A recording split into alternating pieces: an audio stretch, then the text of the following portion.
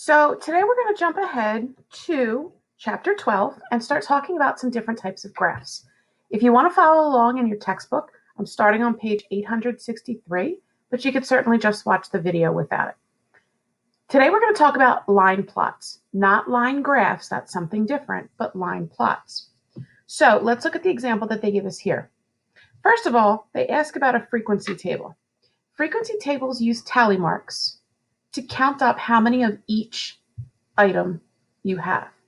So here's a list of data. They've arranged it in this box for us. And I'm just going to make a tally mark for each one in the box. Remember that it's one, two, three, four slash so that you can easily count by fives. So I see one, zero, a two, a one, a three. I completed the first row. Sometimes kids like to cross them off as they go through and do it. Just don't annihilate them so you can see your data later. We have two ones, another three, and a four. Uh, we've got a two, a one, a zero, and a one. And then our last row, two, three, two, one.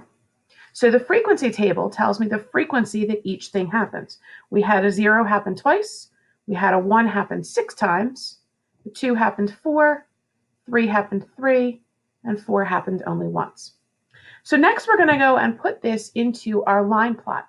Now, a line plot uses x's. Sometimes you'll see them done with dots. We actually saw an example of that the other day when we were talking about mean and median and mode. That's called a dot plot. They're made exactly the same way and contain exactly the same type of information. One of the things that I want to draw your attention to is to keep your x's or your dots lined up and the same size. And here's an example of what not to do. You can see that this middle one has only has three but it appears to have the most because the, the x's are stretched out. This one appears to have the same as the uh, one on the end because the single x is so big. So it's important that your x's are all about the same size and that your spacing is all about the same. If I was to compare the two here, you can see that this end one has more than the one here because it has a higher list. Now we have small numbers here, so it's not a big deal. But if you had much more in each of your bars, you wouldn't want to have to count every single one. Part of the beauty of this is that you can do it visually. All right, that's what not to do. So they've gone through and they've taken the tally marks out of the frequency table and they've made some X's for us already. Notice that this is a number line. Everything is evenly spaced. We count by the same thing each time. All right, so now we need to make six X's about the same size on top of the number one.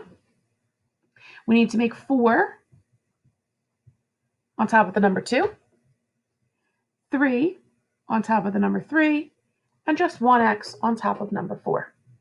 So when you take a chart that started like this and kind of, you know, had great information, but it was kind of scrambled, we've now put it into something that is very, very easy to see. Okay. I may not worry about exactly how many X's are on my line, but I know that one has the most and four has the least. Okay, turning the page. They give you a definition up at the top, comparing line plot and dot plot. Dots usually have dots. Line plots usually have X's. I don't know why they call it a line plot when they use X's. I guess because they're made out of lines. I don't know. Okay, so I'm actually going to skip making this. This information went onto this dot plot. Okay, one of the things I want to talk about is to describe the presented data right? They talk about here, make a line plot, then describe the data. How could you describe this? Well, the mode would be two because it has the highest bar. It has the most frequently occurring number of pets. You could say that the minimum was zero, the maximum was four, the range was also four because if the highest and the lowest get subtracted, you're still going to have four. Uh, you could say things like the median if you were going to move your fingers in to find the middle number. It's not always the middle number here. It's the middle number if all of your X's were written out on a list. And then, of course, you could add all of these up and divide if for some reason you needed to find the mean off of this. Okay? All right, take a moment. I would like for you to do, if you've got your book in front of you, I would like for you to do this. Now, if you don't have your book, grab a piece of scrap paper real quick. You can just make yourself a number line and start putting your X's on top. I suppose if you wanted to do dots, you could since they're the same thing.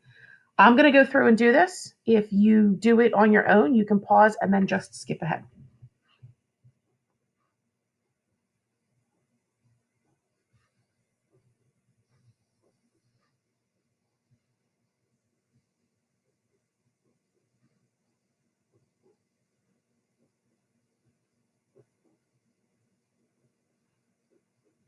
One of the things that I like to do when I'm all done is to count the number of things on my list and count the number of X's or dots that I've made just to make sure that I haven't missed any. One, two, three, four, five. There's three rows. So there's 15 numbers. 1, 2, 3, 4, 5, 6, 7, 8, 9, 10, 11, 12, 13, 14, 15. I've gotten them all. Now, if you had to describe the data as is asked for here, you could say the mode is at 2. The highest is 5, the lowest is 0, the range is 5. And if I actually worked it out, the median would be right here at 2, which if you notice is not the middle number.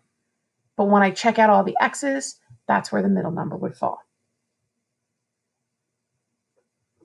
One of the other things we can talk about is outliers. This vocab word popped up the other day, and it means a statistic that is very, very different than the rest.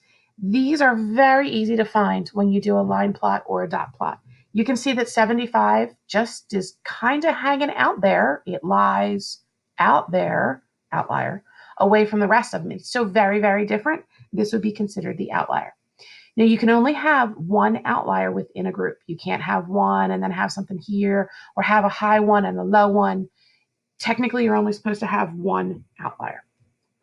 If we jump to the bottom real quick and look at this example, I would say that there is no outlier. Even though there's a little bit of a gap, a little space in between, they're not that much different, okay? 17 is our lowest, but it's hanging right in there with 18. It's not like we had 17 and then nothing happens again until we get to 25. These are all roughly in the same area. All right, I don't think any of them are that much different. Now, if we added like a 2 or a 67, I would consider those to be outliers because they're very, very far away from the rest.